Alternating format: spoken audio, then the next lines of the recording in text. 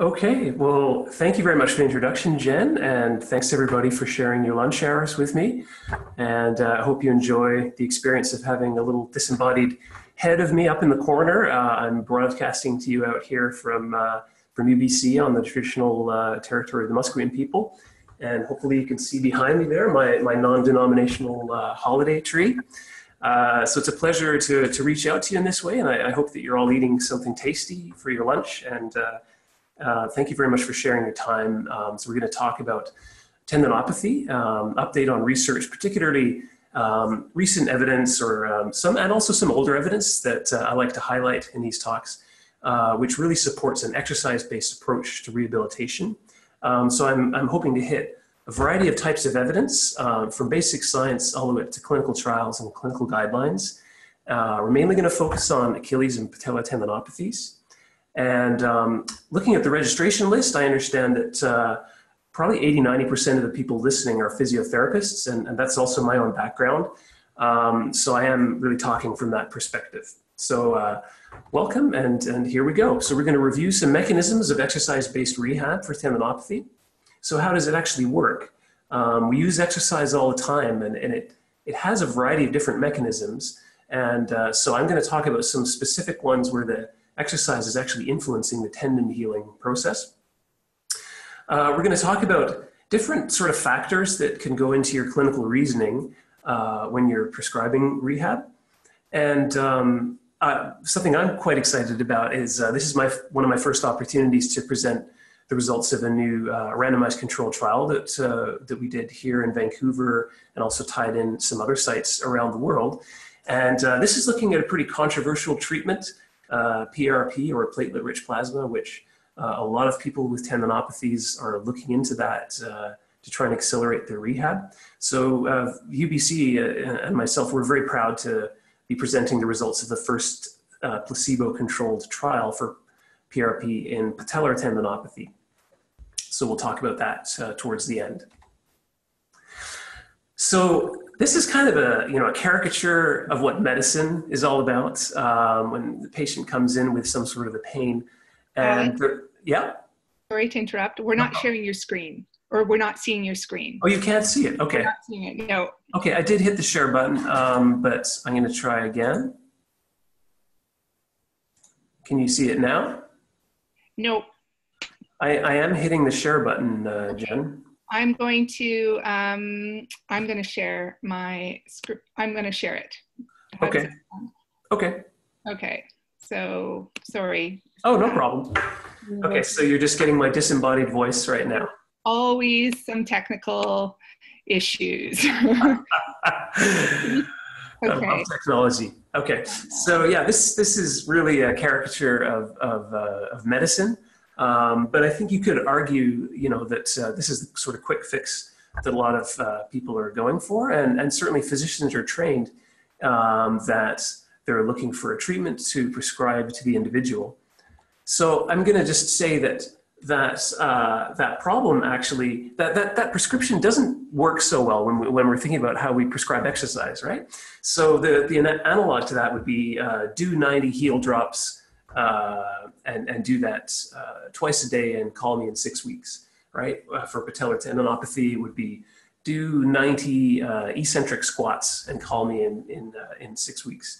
And so um, really it doesn't account for actually how exercise works, right? Exercise, as we know, it has to be individualized and, and gradually, progressively um, increased in, in load as the tissues adapt. So um, I think the, the current trend is that we're moving away from more of a recipe-based approach to physiotherapy.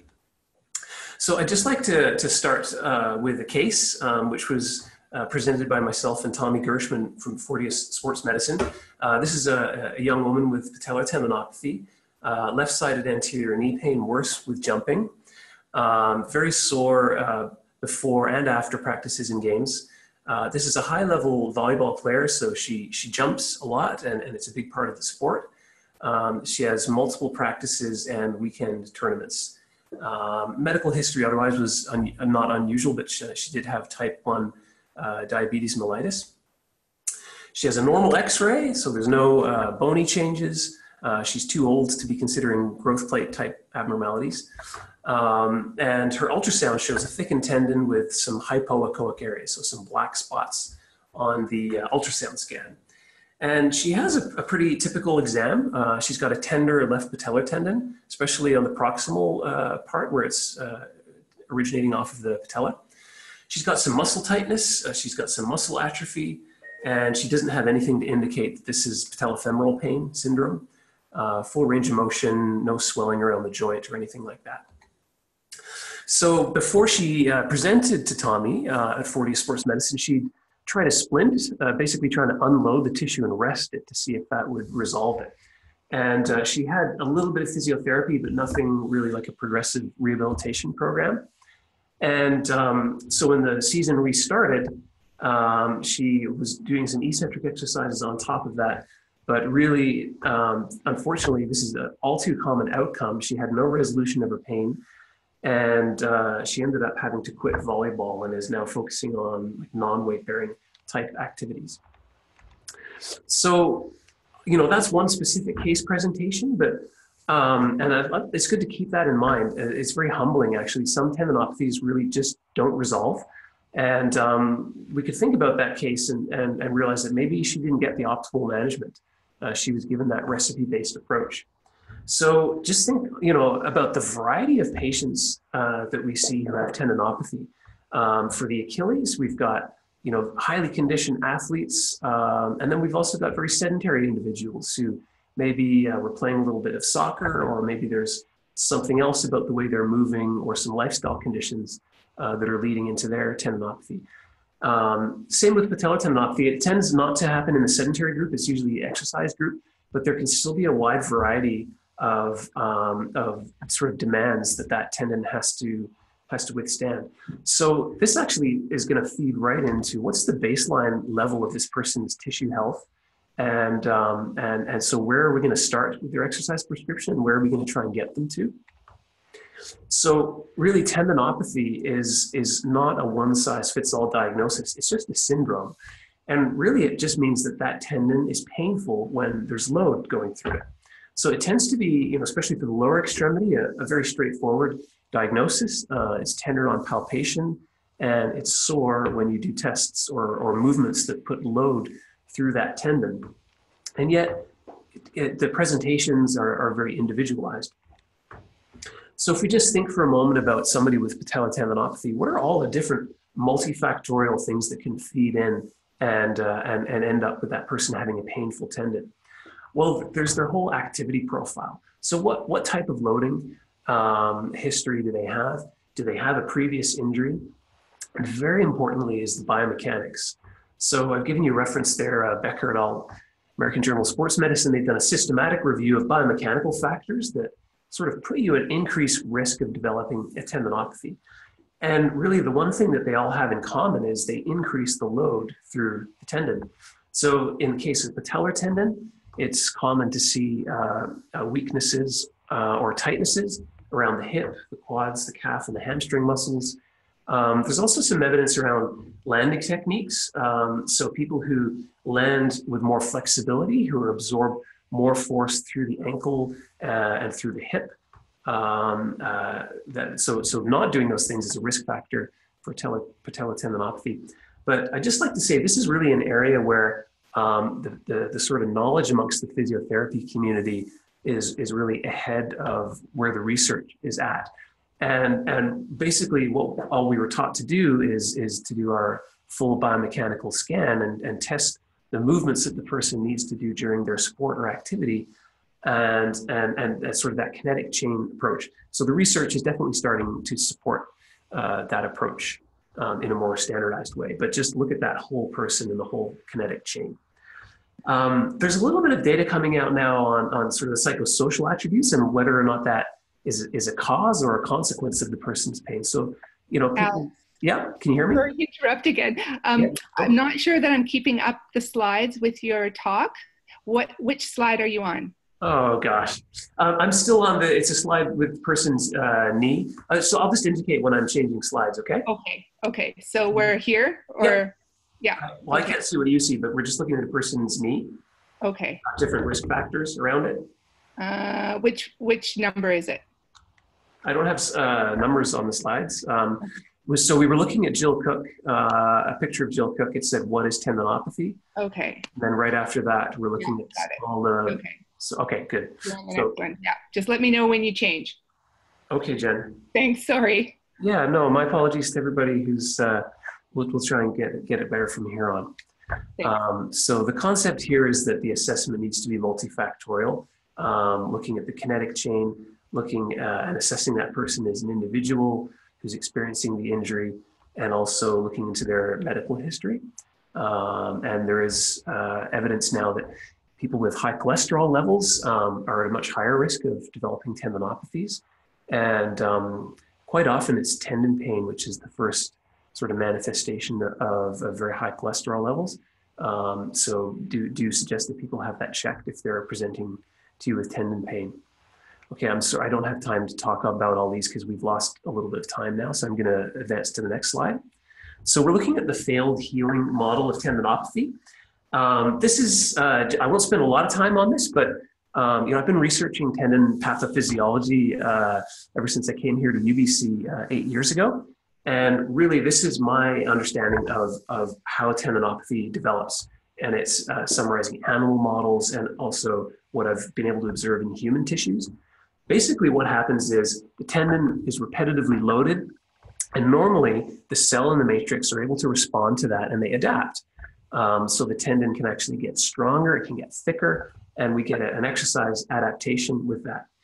But if we've got continued loading that's sort of beyond uh, what the body can, can withstand, then we start to get accumulation of injury to the collagen and to the cells inside the tendon. And uh, that injury is often concentrated at biomechanical weak points, like the attachments of the muscle to the tendon or of the tendon to the bone. And we, we do get a low level of activation of inflammatory pathways. We get macrophages in the tissue. And so you get this chronic uh, injury repair response going on that gradually builds up. So this is this is just a classic overuse injury scenario, which uh, causes that tendon to become thicker. Uh, it's got it, it's accumulation of failed repair tissue. And then in association with that pain, uh, we start to develop weakness and altered uh, movement patterns. So I actually haven't seen any evidence about uh, tendinopathy that is not consistent with that failed healing model of tendinopathy. So it's going to go forward to the next slide now. Um, so there's a lot of talk about pain science, so it's worth just thinking, can we learn anything from contemporary pain science about uh, patellar and Achilles tendinopathies. Um, there's quite a good systematic review here in the British Journal of Sports Medicine. And uh, so people have assessed that. They've, they've looked for evidence of nervous system sensitization, of central sensitization. And basically, the conclusion is um, the pain is essentially a peripheral uh, state. It, it doesn't involve a lot of central sensitization. You've got an accumulation of injured tissue and it's getting irritated, and so you're getting nociception from the injured tissue, which leads into the person having a pain experience. So it's just worth keeping in mind um, that that's that tendinopathy is very much a load-related uh, nociception type scenario. So what can we do to try and help that tissue recover? Um, I just briefly want to, you can't give a tendon talk without mentioning Jill Cook's continuum model, which is shown on the left um, because it is so so very popular. Um, and so the continuum model basically says that normal tendon uh, under conditions of excessive load uh, can become reactive, and they don't actually define what that reactivity is. Um, and then if that goes on, then you can end up in a situation of disrepair. So, so really, that's a more complicated and kind of more abstract way of thinking about how tendon gets injured. I do prefer the failed repair model because it's based on actual observations.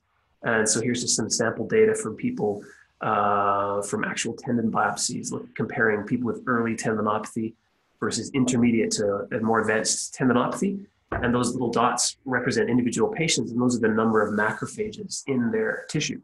So you can see you go through an early inflammatory phase, and then it uh, sort of partially resolves, but you've still got more um, inflammation in the tissue. So I realize that that is kind of a paradigm shift for a lot of people, but that is uh, That's the current understanding of tendon pain. Um, just very quickly, this is my, my PhD work. I spent a lot of time looking at the histopathology of patellar tendon pain.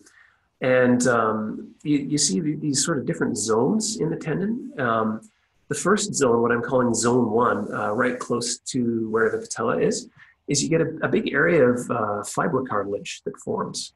And that, that's actually uh, an adaptive change, right? It doesn't have signs of injury. What it shows is that the, um, the tendon is adapting to the very high loads that are being placed through it with all that jumping activity. And it's, it's making its fibrocartilage bigger there. Um, I think it's the body's way of minimizing that abrupt uh, stress concentration between the soft tendon and the harder patella. So um, that's that could be considered an adaptive response. Just distal to that zone two, that's where the actual injury is occurring, where you see all that failed tissue and that healing response going on. That's where you see more blood vessels growing in. And then uh, distal to that, you have another zone of adaptation where you just got more cells proliferating and more uh, matrix being produced. So that's that's um, basically what tendinopathy looks like. And that zone two, that failed repair tissue, that looks the same um, at all the different tendinopathies uh, around the body. So the consequences of having this sort of oh shoot, Jen, um, we're on we're on a slide now. I hope you're keeping up. Uh, we're on a slide of a graph now. It says are the mechanic. I'm keeping it? up. Okay. I think I'm keeping up. Yeah. okay, great. So basically, as physios, right? Um, so what, what are the mechanical consequences of having an injured tissue? Well, it's it's not as stiff. If you put the same amount of load or stress through it, it stretches more. And this is partly why you get stuck in this cycle of chronic injury, um, because the tissue, as you can see, the control uh, is is is more stiffer. It's got better ability to withstand loads. And in people with tendinopathy, we've lost that. And that's been observed um, in a number of studies, and there's, there's a systematic review there which demonstrates it. Um, we've done a little bit of that work out here at UBC. So if, um, we, we have a new way of measuring tendon stiffness that I've been testing out in the lab here. And I'm kind of excited about it. I hope that it starts to catch on. We use that, that little blue device is called the Myoton. And you can get an actual measure of Achilles tendon stiffness um, just by holding that probe against the tendon and it, it taps the tissue and it's able to measure how stiff it is. And you can see um, in a group of people with ten, Achilles tendinopathy, uh, there's that loss of tendon stiffness. Um, there's a lot of overlap you can see between the controls and the tendinopathies. So it's not really a diagnostic tool, um, but what we're looking into now is whether we can take that stiffness deficit and see it improving over time during rehabilitation. I'm going to go to the next slide here. We've got three little sort of scatter plots. Can you see that with dots? And it, um, so this is just some more data from our lab showing that the, the stiffness level of the tissue actually correlates with people's symptoms, which I think is fascinating. So the top left there, we're looking at the VISA A score. This is a score uh, which sort of ranks how healthy your Achilles tendons are functioning. So perfectly healthy tendon gets 100, and then down to the to the left, um, you're getting lower and lower VISA A values. And there's a correlation between the stiffness and the VISA A. So the more stiffness you've lost, the worse your symptoms are. And same thing is happening with thickness. So the more thickened your tendon is, the more of that gunky repair tissue it's got in there, um, the less stiff uh, the tendon is. Um, there's also, you can see bottom left there, there's a normal kind of age related uh, loss of tendon stiffness as we get older and that's why uh, tendon tendinopathies are so much more common as we get older.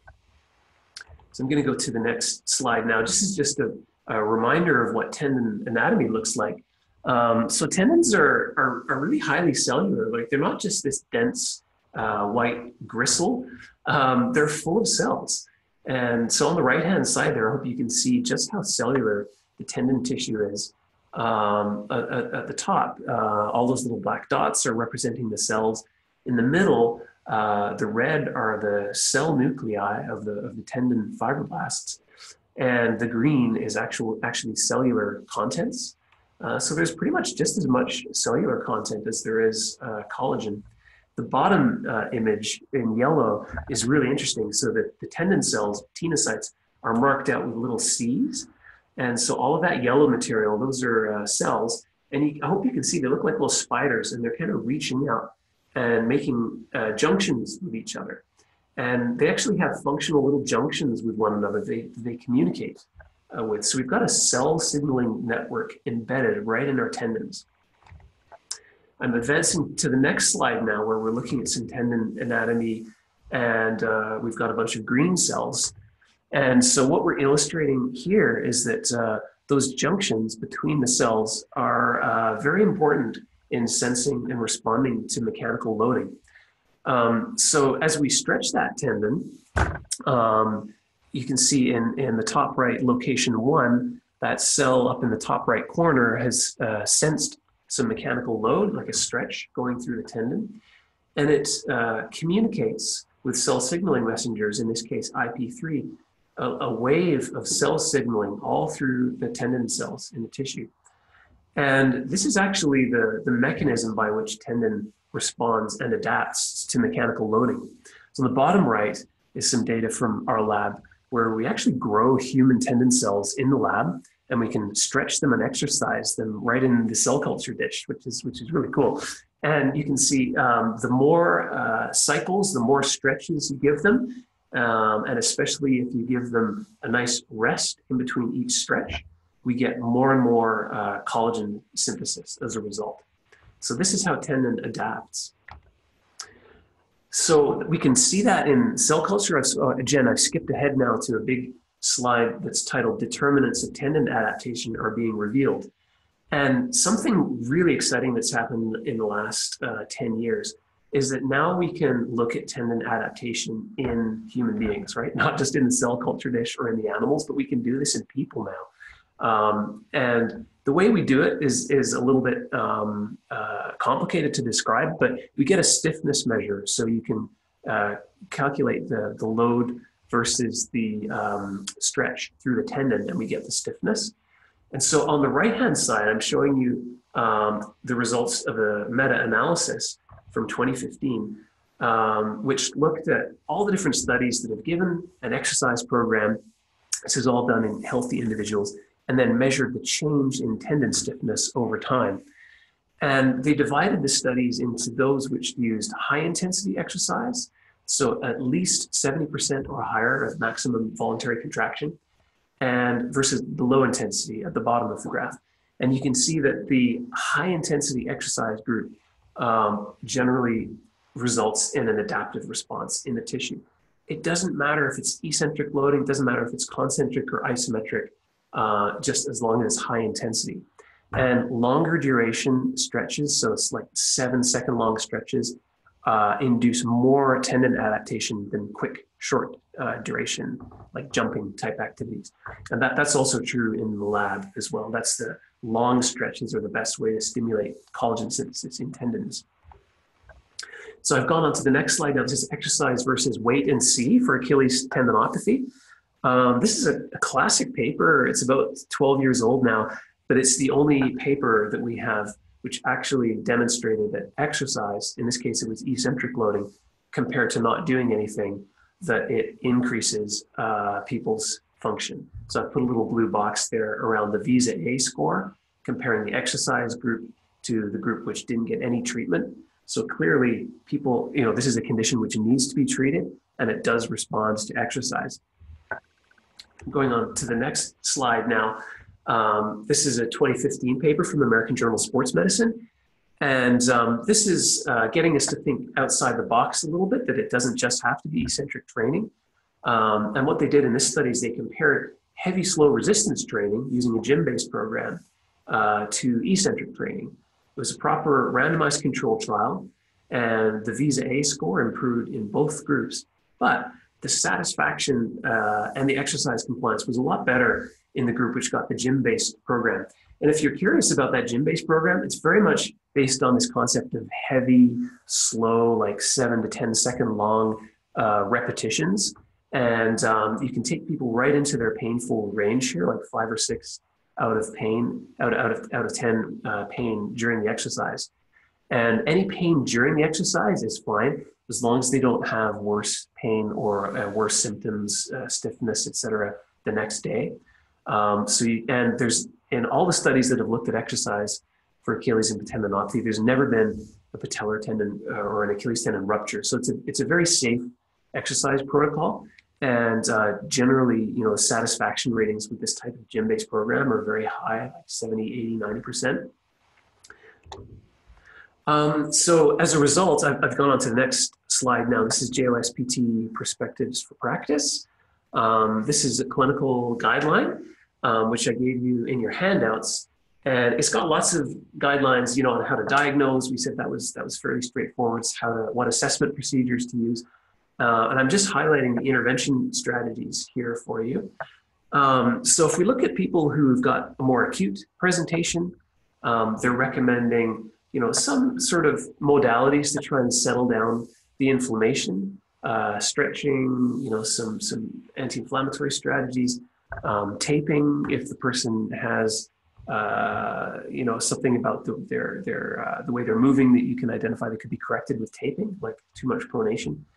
But for the chronic or non-acutes, um, the clinical practice guideline now is is recommending mechanical loading exercises, um, and you can choose whether that's going to be eccentric, concentric, eccentric, or heavy load and slow speed.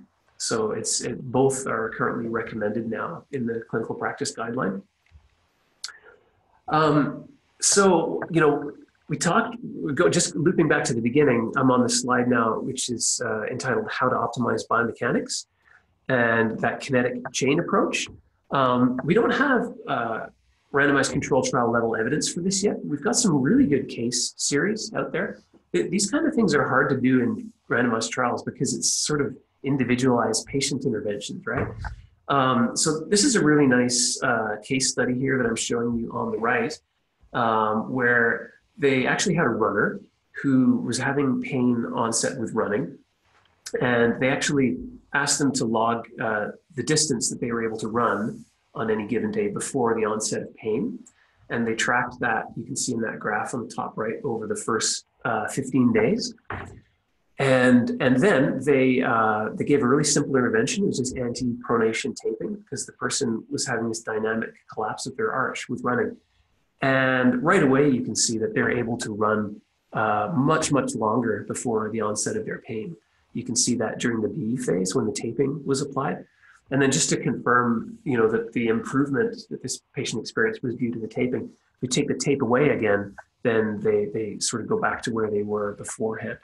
So apply a corrective intervention. If you can find something that changes somebody's symptoms uh, by changing the way they move, definitely do it. Um, there's another systematic review mentioned there for you, which uh, sort of gives you some ideas about the types of things to look for, but it's really just a kinetic chain uh, assessment. So the next slide I've gone on to, Jen, is called extra exercise allowed during rehabilitation. And um, so this is uh, this was a trial by Silbernagel et al. Uh, from 2013, and she was trying to answer the question: so if you put uh, somebody in a rehab program um, can they keep exercising um, while they're doing rehab?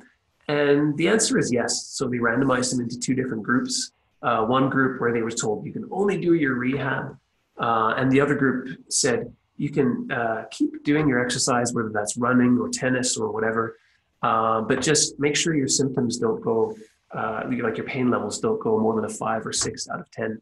And you can see people continue to recover uh, as long as they're doing the rehab and as long as they keep their um, loading within what they consider a safe level. So this is really nice data for your patients to say they don't have to stop doing what they're doing. If they do the rehab, then they can keep um, keep competing.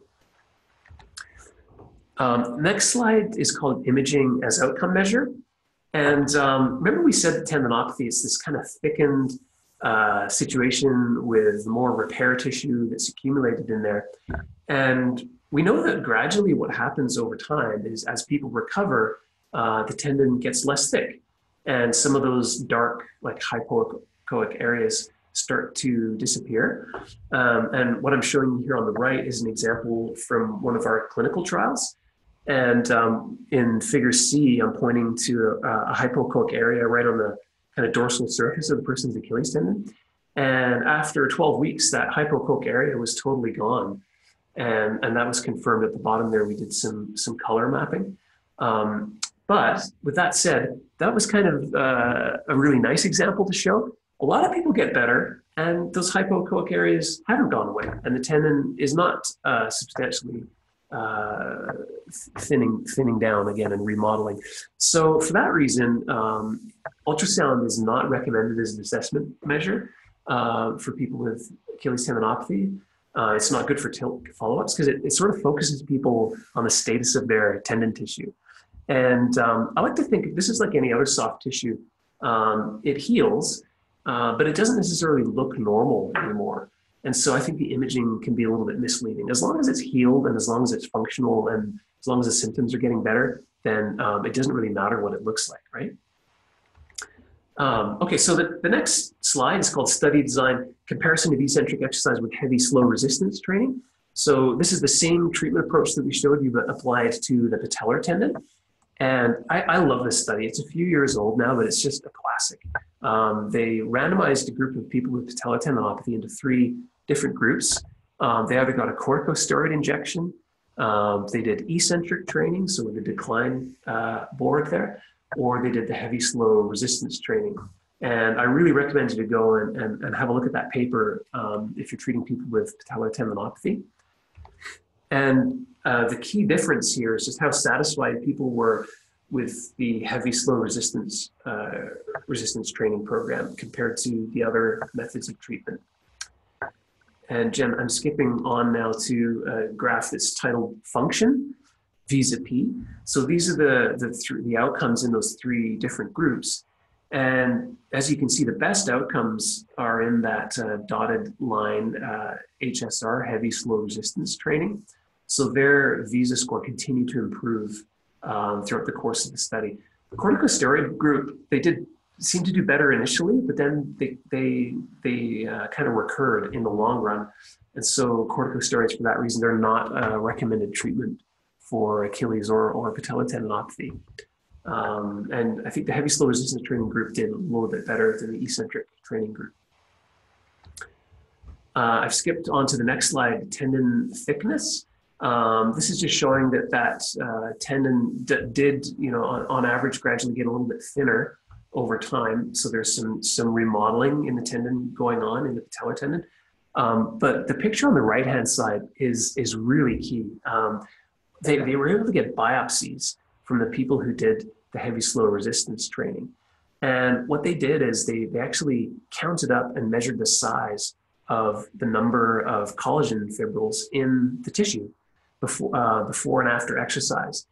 And so the I, I hope you can see the difference. There's a lot more small collagen fibrils that have been produced with the training program.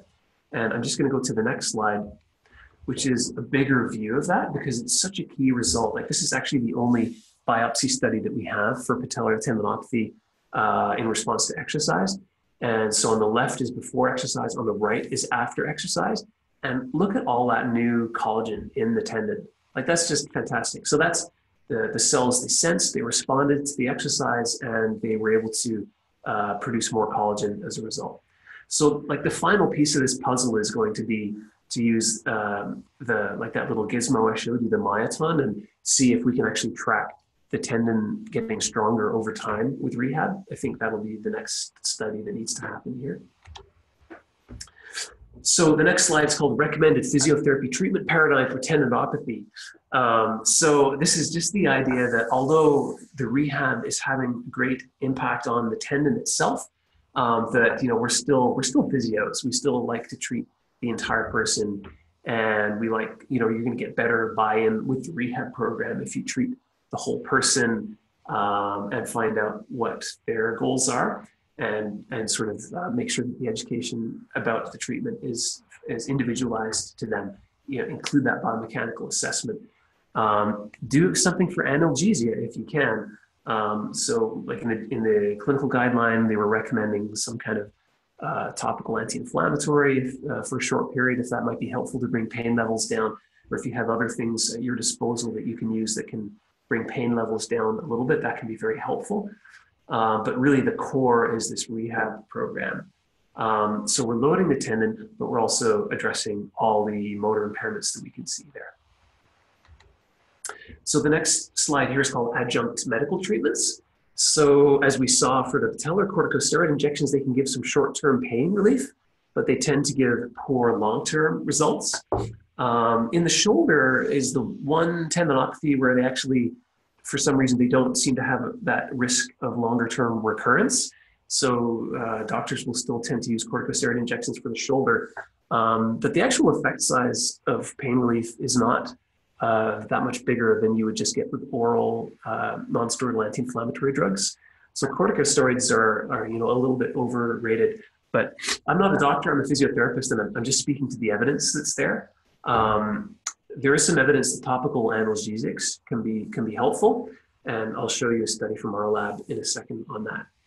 Um, so there's other injection type therapies, uh, sclerotherapy or prolotherapy where they're injecting um, sclerosing substances or, or, sugar to try and stimulate a repair response. Um, these are, are uh, very low quality evidence studies and they're not supported by uh, like Cochrane level systematic reviews. Um, the PRP, I promise we're going to show you our results, but the bottom line is that that has been shown actually to be ineffective. Um, so we don't have great injection strategies that we can recommend alongside uh, exercise. Um, there's this other kind of kooky therapy out there. It's called nitric oxide. It's uh, sort of been picked up in Australia because that's where some of the original studies were done. And so this actually involves taking a little angina patch and cutting it into four and uh, placing that angina patch right over the sore tendon. And the idea is that it's going to stimulate some blood flow and stimulate some collagen synthesis in the tendon. Um, there is a recent systematic review on it, but uh, again, the evidence is is not there. Uh, it, seems particularly to do absolutely nothing for patellar tendinopathy. Um, there was one positive and one negative study for Achilles tendinopathy, so uh, not super helpful. Um, the next slide is called common treatment, uh, common treatment pitfalls, but I'm just going to skip over that in the interest of time. Um, so the, the next slide is called local results with this approach, and what I mean with this approach, I'm talking about that integrated physio management with heavy slow resistance training. Um, so I was really lucky to have a, a, student here coming through the MRSC program, Trevor Vander Doelen, and we just wanted to see if we could duplicate those results with the heavy slow resistance training, because um, that was just a single study from Copenhagen. So the good news is we can we can do that. We can get the same results here in uh, in Vancouver. Um, this was just a chart review, but it shows really the same type of findings. Um, we're looking on the right-hand side, I'm just highlighting that numeric pain rating scale because um, I find this really helpful as um, uh, a way of checking in with people's pain levels. And the way we did it is uh, we got them to do a, a, single decline squat on, on that uh, decline board that I showed you. And you asked them to rate their pain out of 10 uh, with squatting movement. And that sort of tracks, uh, it's a good way of tracking their recovery over time. And as you can see, this person had a really good result. They got completely resolved. Um, these were all uh, basketball players with patellar tendinopathy. I'm just going to go to the next slide now. Um, so this is change in clinical status. And this is using the VISA-P score in response to that heavy slow resistance training program. And we got basically identical results. Our visa starting VISA-P score was in the 50s. And then in the end, the average was about 80, which is exactly what, um, what the original study showed. Um, so this is good news because everybody responded. You know, it's also bad news because nobody was completely recovered. And you know that's kind of in keeping with our with our case um, that we presented at the beginning. It's a really difficult um, condition. Um, so a realistic expectation is you can get people's pain and function to improve, um, but you can't uh, necessarily cure everybody with it. Uh, so the next slide is called PRP for patellar tendinopathy trial. Um, very proud of this. So for, if anyone hasn't encountered PRP, um, a lot of naturopaths in the area are doing it, and they also do a lot of these injections in Calgary.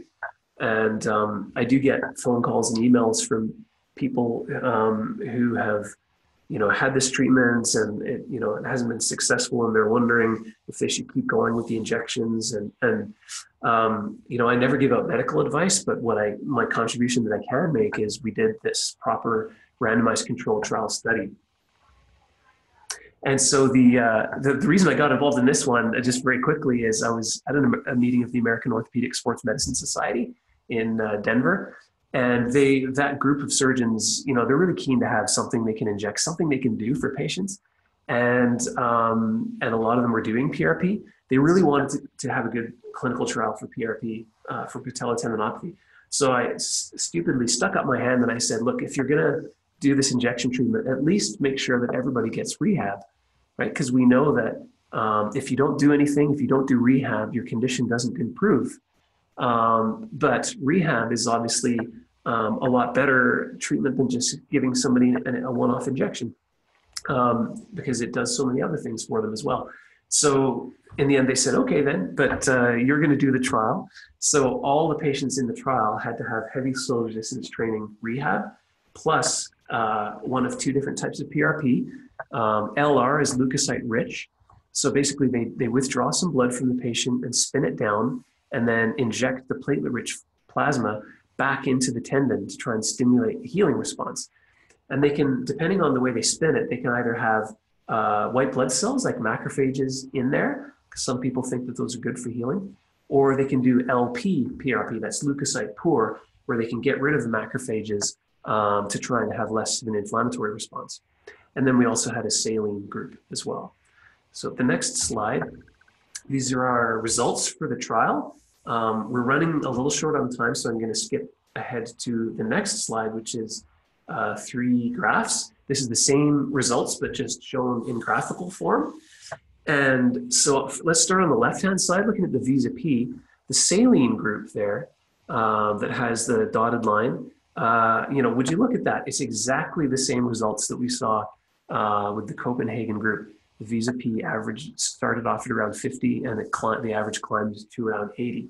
So our saline control um, basically had exactly the same results as just uh, heavy slow resistance training by itself. So not much of a placebo effect. Um, the leukocyte poor PRP was not significantly different.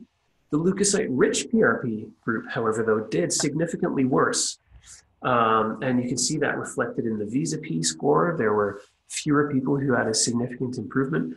Um, pain levels in, this, in the middle there this, with the saline group continued to go down, whereas with the leukocyte rich PRP group, the pain levels were climbing again towards the end. And the patient's overall rating of how improved their condition was, you can see um, with saline or leukocyte poor PRP uh, continued to climb over the course of the study, but with the PRP, it got worse, the leukocyte rich PRP. So I'm skipping to the next slide now. It's change in VISA-P from zero to 12 weeks. And so I like these kind of graphs where you can see the end of each uh, line represents the improvement of an individual patient from the start of the study to 12 weeks, which was our primary endpoint. And you, the reason I'm showing this is you can see all the different uh, sites had similar trends because um, we had three different sites in the study to recruit enough patients. Um, and the same trend that you can see there is that the saline group is doing better, um, and the leukocyte rich PRP, many of them uh, are not doing well or are getting worse. So uh, one of our, my final slides here, because we're almost about to run out of time. Um, this is titled Randomized Control Trial Evaluating the Short-Term Analgesic uh, Effect of Topical Diclofenac. This is another randomized trial that came out of my group here at UBC. Um, and it was based on a conversation with uh, Whitecap's Dr. Jim Bovard. Um, so we want to have something, right, to supplement the rehab program. And they had found that just giving some topical non-steroidal anti-inflammatory drugs can be quite helpful just in terms of bringing the pain levels down a little bit, especially for people who are still want to participate in their sport or activity um, or and that are having a lot of pain. And so we did a randomized crossover trial and this is just showing the main outcome, which is uh, pain during uh, hopping activity. And you can see with diclofenac, again, you're able to bring the pain levels down. You can't get them to go away completely, but it is a significant uh, reduction in pain, uh, uh, which we didn't see with the placebo response. So, you know, this study has been out there for a couple, uh, well, about a year now. And I know that people are using this. Like I got some emails from the Canadian women's soccer team uh, physio who said that uh, some of their players who have Achilles tendinopathy um, are using diclofenac uh, to help them get through periods of more intensive loading, and they're finding that helpful. So the next slide is called pros and cons of NSAIDs. So, you know, just to keep in mind that there are downsides of using anti-inflammatories, especially long term. Um, rather than talk through that whole slide, I'll just let you know that we are doing a longer term trial right now to try and look at um, uh, whether there's any long term negative effects of people using uh, topical diclofenac. And uh, so hopefully we'll be able to report that in the next year or two. And okay, the very final slide. Does exercise help for other tendon conditions? So, um, what do you think? I guess I kind of asked that question with a very positive tone in my voice. So, I think you know that the answer is yes. Uh, exercise is very helpful. Um, the story that I've told you for the Achilles and the patellar is the same story for the elbow and the shoulder. So, I'm going to skip to the next one. I've got two more studies to share with you. This one is my favorite uh, study for uh, rotator cuff tendinopathy. It's from the British Medical Journal. And you can see a very dramatic difference uh, between people who got a specific exercise program for their rotator cuff pain compared to those who didn't.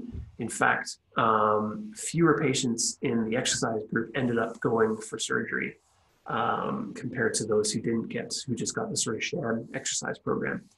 The next slide there is just um, some pictures uh, encouraging you to go and, and have a look at that trial um, because the intervention is given in a lot of detail, and so you can easily use that with your patients. And it's it's probably pretty similar to what a lot of you would be using anyway with your rotator cuff pain patients, uh, just progressive concentric, eccentric, isometric loading, and some a bit of stretching.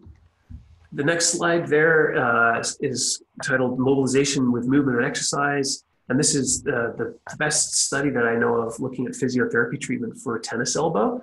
And um, it's the same story where the corticosteroids were sort of helpful initially, um, but then in the longer term, um, they did worse. Um, physiotherapy compared to just leaving people alone. In this case, um, physiotherapy gets people significantly less pain, more successful treatment, uh, especially at six and 12 weeks on the, the bottom graph. Um, in the end, the people who just did did nothing, on average, uh, they sort of caught up with the physiotherapy group, so their treatment, uh, their their condition was able to resolve uh, spontaneously, which is which is not something you always see with Achilles or patellar tendinopathies. But the, the key here is that the physiotherapy group uh, did better more quickly. So uh, the next slide here uh, these are just pictures uh, showing demonstrating the interventions from the lateral elbow trial. Um, they're all described really nicely in that paper um, to the point where you could actually uh, go ahead and use these with your patients. And the final slide there is just again some pictures of the exercises that they used. Um, but we're out of time now, so I'm gonna I'm gonna leave it at that. Uh, thank you very much for your attention, and I apologize for the technical problems that we had at the start. And I'd like to acknowledge Tommy uh, for sharing the case with us, uh, Trevor for sharing his data. Um, Jen, very much thank you for the uh, invitation to talk and for all the work you do with Pain BC. And I'd like to thank the people who funded the study as well. And we have some time for questions now, so I'll, I'll hand it back to Jen to help help coordinate that part of it. Brilliant. Thanks, Alex. That was so interesting. Um, we do have some questions. Okay.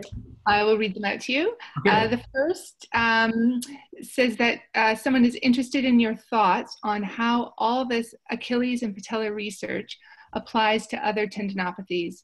Also, any particular experience with biceps tendinopathy? Mm-hmm. Yeah, it's a really great question because um, a ton of the research is focused on the Achilles. Um, like as a researcher, I love it because it's so easy to measure it. You can see what's happening and changing in the tissue. And we don't always have that same uh, ability to look at that for other tendons. Um, and I think, you know, generally uh, a tendon is a tendon is a tendon, like they all, uh, and, and I think you see some common patterns there in that exercise-based rehab uh, is effective for all the tendinopathies that we know about. But there are some really significant challenges um, with some of the tendinopathies that, that I think we don't have a great handle on yet. Um, so for the shoulder, for example, uh, just the, the diagnosis is a real challenge. And as you know, it's not really recommended to try and diagnose uh, a rotator cuff tendinopathy, for example, compared to a bursitis, because um, those two things would go hand in hand. And um, and and so that's sort of a complication around the shoulders that the diagnosis is is really challenging, um, and it's also um, hard with like biceps tendinopathy is a great example of posterior uh, uh, tibial tendinopathy is another great example where you've got a, wrap, a long wraparound tendon uh, which is being compressed and irritated against the bone, and, and that's something that's really really hard to uh, to, to deal with um, with sort of traditional exercise based approach because um, you know it's it's it's it's hard to sort of strengthen that tendon and promote it to repair just given the anatomic location and function the way it's sort of impinging and being compressed against a bony uh, bony prominences. Um, so yeah I, I, totally agree with the question that uh, some of these tendinopathies are, are probably going to be different and we don't have a great evidence base on them yet. Yeah, but I but I, I would definitely say that the first line of approach has to be, you know, the exercise based rehab and along with uh, load management. Yeah. Thanks, Alex. You're welcome. Okay, I'm gonna read a question, and um, uh, someone is asking for you to comment on. Um, oh, hang on, the question's disappeared. Okay, uh, they want you to comment on ESWT versus RSWT efficacy. Oh, right. So extracorporeal shockwave therapy versus radial shockwave therapy. Um, I I don't uh, feel that we have really good enough quality evidence to be able to conclude a that they work or b that one is better than another. Fortunately, I know that's a cop out answer, um, but uh, you know, I uh, actually I was really curious about that when I first came to UBC as a faculty member. I thought let's do some more research on shockwave. Um, I was going to start with the Achilles, um, and I started shopping that around to my collaborators. And one of the one of the best studies that we found was by DaCosta et al. And uh, for extracorporeal shockwave therapy, and it found uh, no difference between those who got the real versus the sham shockwave. Whereas there's other other papers out there um, which which which do find a difference, and it's really difficult at this point to know if it was something to do with study design or if it was a problem with the way the study was done, like they didn't blind it properly, or there was some other kind of bias creeping into the study. Um, so yeah, uh, that's that's that's currently uh, where it's at, and I think that's why you'll see in the, in the clinical practice guidelines, shockwave um, isn't really listed as a treatment yet, because um, I don't think um, some of the bigger organizations have, have gotten gotten behind it yet. Uh, with that said, like I can see some really good rationales for why it, why it might be working and it's it's really good to keep an open mind on those things. Um, so it could be definitely having some effects on the pain system, um, and it could also be stimulating some some tissue repair and healing. Um, but yeah, sorry, I just don't have good enough evidence to be able to take a firm stance on that. Thanks, Alex. Um, okay, next question, and uh, I hope I say this word right. There's all kinds of words in here that okay, yeah. normally I don't have to say, so yeah, no um, apologies. Um, okay, is there good evidence to support uh, phonophoresis, and if so, what hmm. dose and what medicine?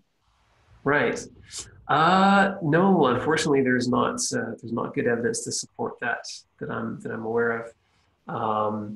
I guess I guess good you know it depends on the grading scheme that you use, but um, good evidence would be uh, you know a, a, sort of substantial body of evidence that that where, where the effect size is pretty well established by by more than one study and and that all the main questions have been answered and um, yeah I, I, think I think it would be some older older papers that uh, that, that have looked at that um, that aren't sort of um, part of the current clinical practice guidelines anymore. So it's another one of those things where it makes sense mechanistically, but I don't know if the evidence is there yet. But hey, like a lot of the time, the evidence is playing catch up with what physios are doing.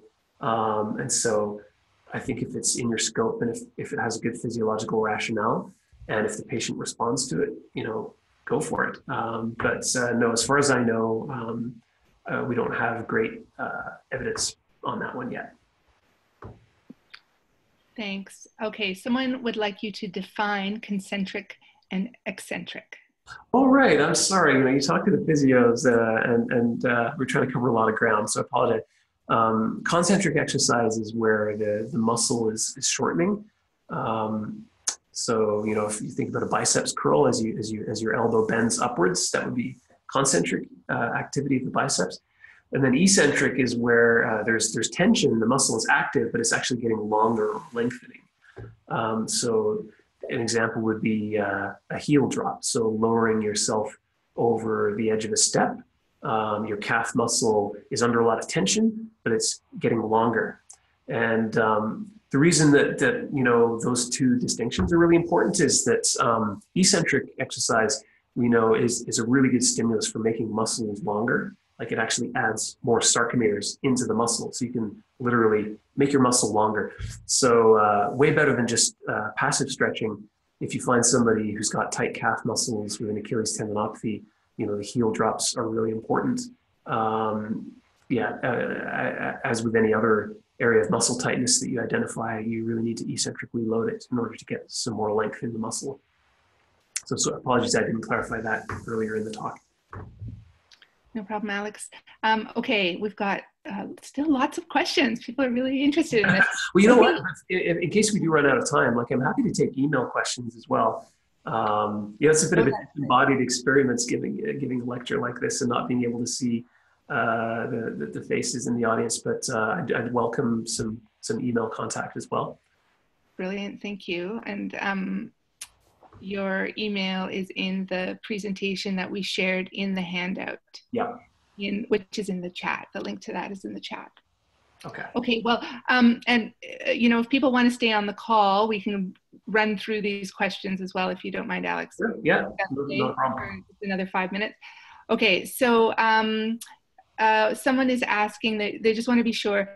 Um, is there any evidence on stretching as an intervention? Uh, yes, yeah, there is there is evidence for stretching. Um, I think um, I would I would have to dig back. I, I definitely have read some papers uh, for lateral elbow tendinopathy, looking at stretching.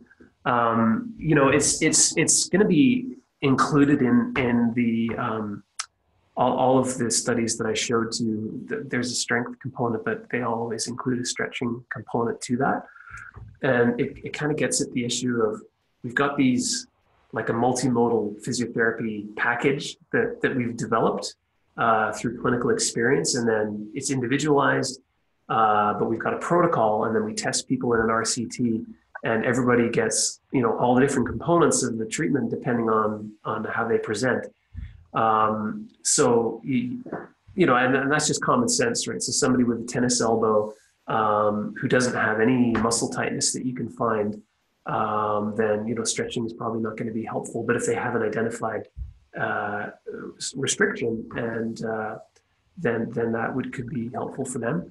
So yeah, it's a combination of um, individualized interventions, which, you know, and, and stretching is definitely part of the package. Great. Okay, next question. Uh, what are some key medications we should be concerned about playing a role in tendon pain slash injury? Right. Yeah, that was towards the beginning of the slide when we were having some technical glitches. that showed that slide of multifactorial things to consider.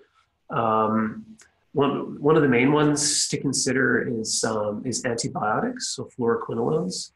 Uh, it's a class of medications that are used to treat um, treats uh, infections and um, like ciprofloxacin, for example. And what, what you see um, on imaging with those people with MRI is that class of antibiotics just uh, knocks out all the glycosaminoglycan production in the tendon cells. It's really dramatic. Like it just completely knocks the GAG production out of the tendon cells. And it, it uh, takes months to come back, actually. So if people are having that kind of antibiotic treatment, um, you know, it, it would be worth keeping in mind and being very aware that that's that, that they're in a risky time period for developing a tendinopathy and to back off if they can. Um, and also to always ask about that one during the uh, medical history. For a while, statins were kind of getting a bad rep. Um, there's there was a, a, case series that was published from France that showed um, a lot of people developing tendon problems right after they'd started a statin. Um, but actually, you know, thank goodness for, for the Brits, they actually did a really huge, uh, really well controlled epidemiological study. And they found out that there was actually no risk with statins if, as long as it was properly controlled for. So what, what tends to happen is uh, people get into their middle ages, they're getting some high cholesterol levels, they start a statin, and then they develop a tendinopathy. So it was just more of a spurious association rather than a causal one. So um, yeah, we've we've we've had to backtrack on that one and and and not. Uh, and so statins are not really considered a, a risk factor for tendinopathies anymore. The opposite is definitely true. High cholesterol levels um, are, are a substantial risk factor for tendinopathies. And um, there's a form of high cholesterol called familial hypercholesterolemia, um, where people have an inherited uh, form where they can't metabolize the cholesterol. And they, these people can end up with heart attacks when they're in their 40s uh, and 50s. And it's often uh, they have their first heart attack before they've even had their first cholesterol test. Um, but you know, many, many, many of these people had a long history of tendon problems uh, beforehand, which didn't trigger the, the medical referrals.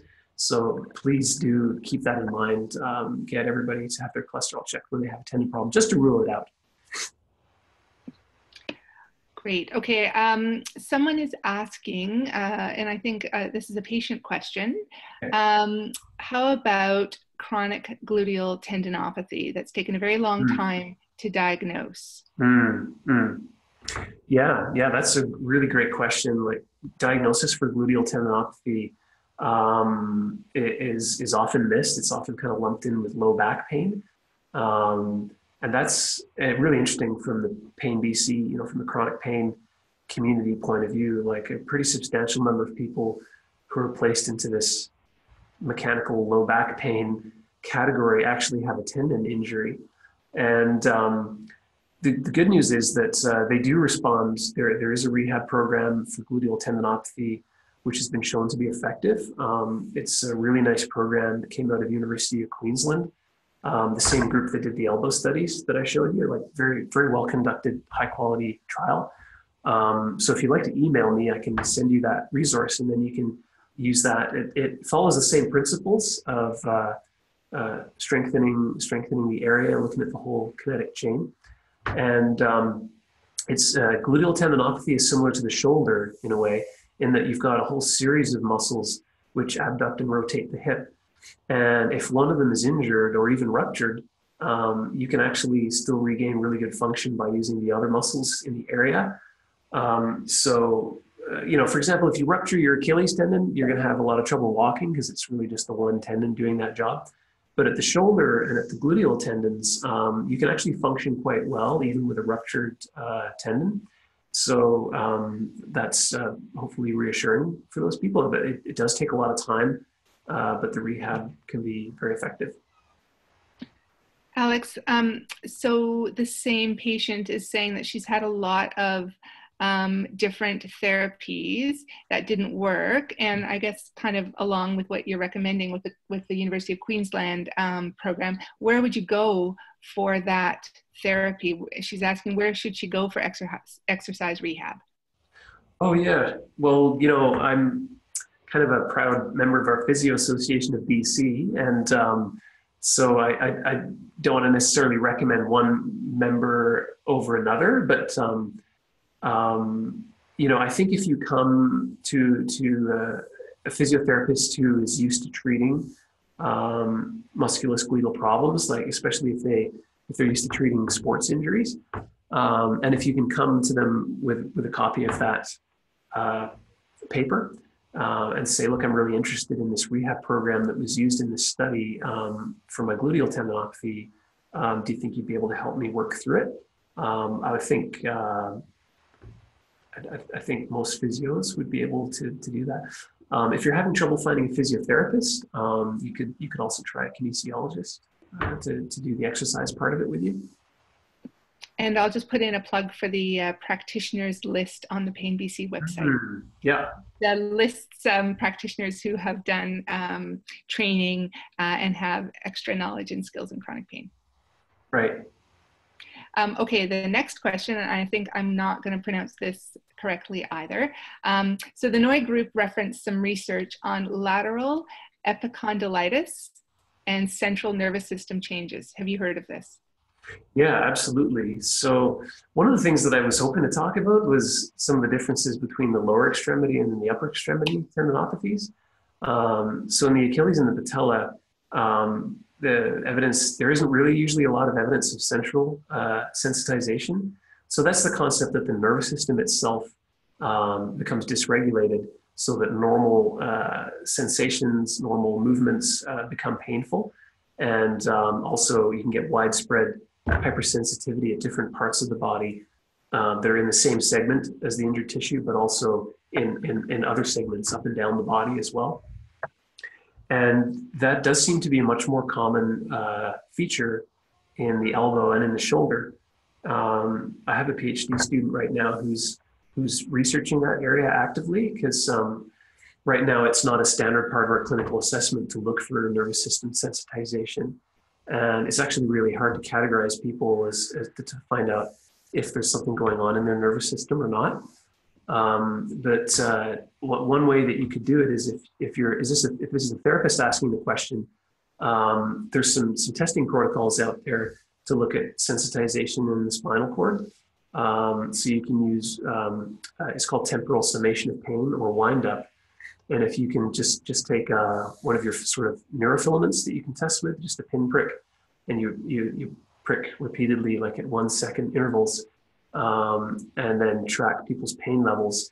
Um, you can do that over the painful area, then over a non non affected area, and then you can find out if there's wind up uh, in the in the painful area.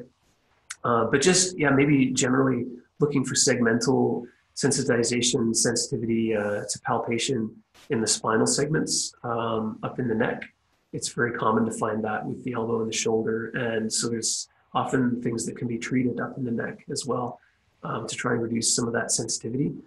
Um, then there's the whole aspect of, you know, the involvement of the brain in as part of the sensitization process.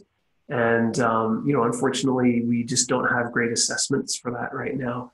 Um, but if you do see somebody who's got more of a chronic pain um, type presentation where um, there's a, a, lot of movement guarding, there can be um, very widespread uh, sensitivity to palpation uh, in large areas of the body and things like that, then, you know, it might be worth thinking about if there's pain uh, clinics, pain services in your area that you could refer that person to and try and catch them as early as possible.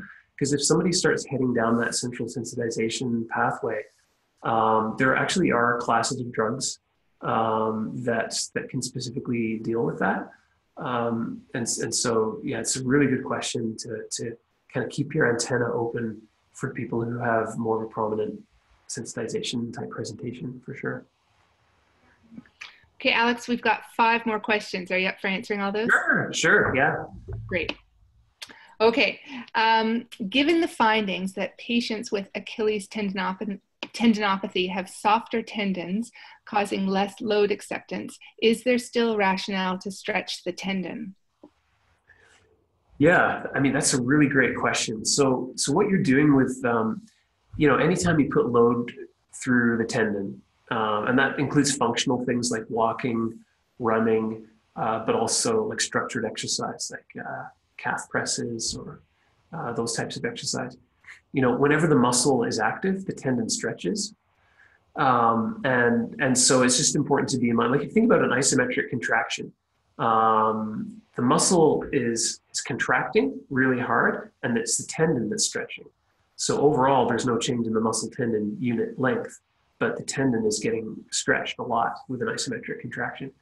And so absolutely there's a rationale for that. And it comes back to that mechanotherapy mechanism where um, by, you know, stretching that cell, stimulating it in a controlled way, um, you can stimulate collagen synthesis. And the best way to do that, as we said, is not so much with your repetitive. So say you've got a runner who's come in, you've been exercising, and their tendons all irritated, and it's lost some some some of its hardness um, if you want to build that back up again, you, you need heavy, slow resistance, and you know even a, a, good 10 second rest period in between each repetition of of their uh, stretch. So yeah, it's just sort of this weird concept of exercise actually being a stretch on the tendon. But I think it's it's passive stretching, you know, is not so important. It's more about uh, that active uh, component to the rehab. Okay, um, is it, can you comment on whether it's safe to admi administer soft tissue release in acute tendinopathy? If yes, do you have any comments on the area um, to start treatment from? Oh, okay.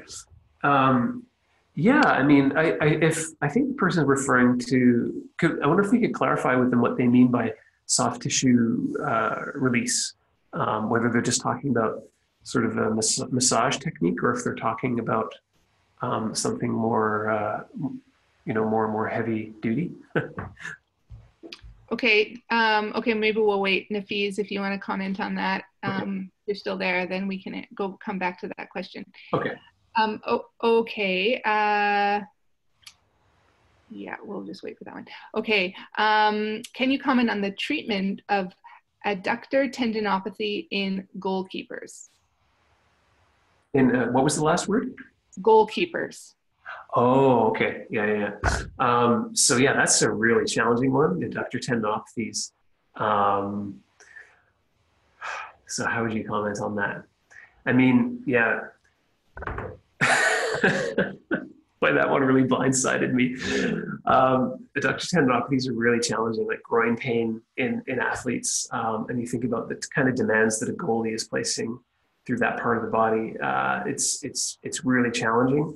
Um, and you know, I, I think we're going to come back to the similar same sort of treatment paradigm, um, the whole kinetic chain approach, where um, you know building load tolerance through the tendon and through its attachments is going to be really important with some with some specific exercises to load that, but also the whole kinetic chain and the core. Um, you know, making sure that that whole core is as strong as it can be um, you know, that person is going to need really good range of motion. And so I, I guess it's going to take a lot of, um, it's, it's, it's going to take some really intensive load management, you know, because because going into the game and re-irritating and re-injuring that um, is, uh, is, is going to be the challenge. Um, you know, groin pain in athletes can be really recalcitrant, like like take a long time to recover. And so sometimes a, period of, of, backing off and, and just focusing on the rehab is really important. Um, I realize I'm just talking kind of in generalities, and, and I, I'm going to apologize for that. Um, just recognizing the question that, uh, you know, the general treatment approach that I presented here, um, it does hold true for adductor tendinopathies as well. Um, and I just appreciate how challenging that is. So. Okay, final question. Um, okay, why is PRP so widespread if it doesn't work? Hey, that's a really good question. Um, I, I, part of me wanted to get all philosophical there because I was thinking about all the all the different beliefs that people have, which turn out to be uh, not true, like the world being flat and, and all kinds of other things.